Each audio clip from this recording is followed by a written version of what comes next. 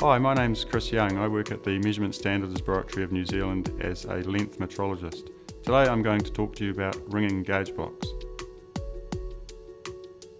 Gauge blocks are basically little blocks of metal or ceramic which have polished ends and the ends can be joined together in a process known as wringing. Wringing can be used to create uh, longer standards um, using multiple smaller gauge blocks. When gauge blocks are brought sufficiently close together, an attractive force is generated. This attractive force is known as the wringing force. The wringing force is determined by several bits of physics. The first being that when you wring the gauges together, the air in the interface is removed and that creates a vacuum in that interface which means that you've got the atmosphere pushing on the outside of the gauges, holding them together. The second bit of physics is the wringing oil that you use to wring the gauge blocks, which has a surface tension. So the surface tension uh, basically creates another force holding the gauges together. The third force is due to the fact that you've moved these surfaces so close together that they're basically acting as one metal themselves and because of that there's a bit of molecular interaction in that interface and that bonds the surfaces together. A gauge block's length, also known as the interferometric length, is determined by the length of the gauge block plus a wringing film. This way when we wring multiple gauges together we don't need to correct for that wringing film every time we add another gauge onto a stack of gauge blocks.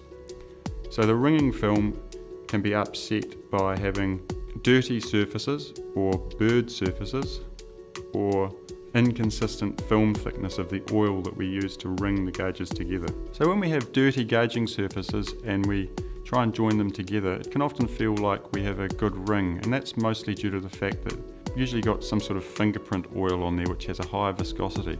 So that can give you the false impression you've wrung the gauges well together. So it's important that we clean the surfaces really well before trying to wring them together. So that involves using ethanol to clean the surfaces, and then a lint-free wipe.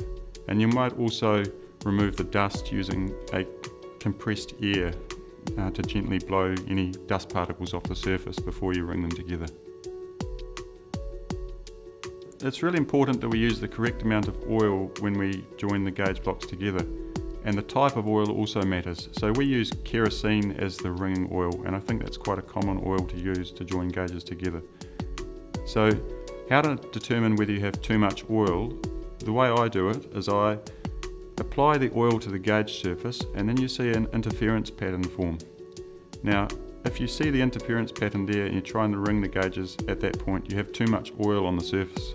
You have to remove the oil to the point where the interference just disappears but not rub it so much that you've removed all the oil from the gauges. When you push the gauges together to try and wring them, you should only be pushing with a moderate downward force. If you push too hard, you can scratch the gauges, and if you don't push hard enough, they won't wring together. It's important that when we join gauge blocks together, we use the correct wringing technique, and that involves bringing the gauges together perpendicularly to begin with, and pushing down with a moderate force. And you should feel the gauges wrung together once they are forming a cross and at that point you can gently slide the gauges so that they are parallel with each other and that is the point that the gauges are wrung. So you can use that process for wringing gauges together but you can't use it for wringing a gauge block to an interferometer platen. To wring a gauge block to an interferometer platen you need to bring the gauge end on into the interferometer platen and push down with a moderate force. It's really important that if we have a gauge block which we suspect is damaged, that we do not try to wring that to another gauge block or to an interferometer platen. That basically will just transfer the damage over from one gauge to another. Uh, so we need to repair that gauge before we attempt to wring it. And you repair it using a granite lapping stone.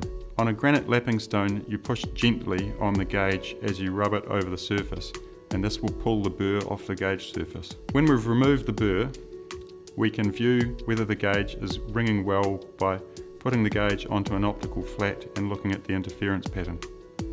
So in summary, the really important points of wringing gauges together is that you have a, a clean starting point and the surfaces do not have any fingerprints, oil, grease or dust on them.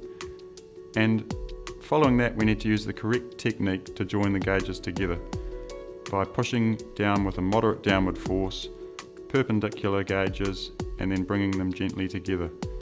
And we mustn't try to wring gauges together which are damaged.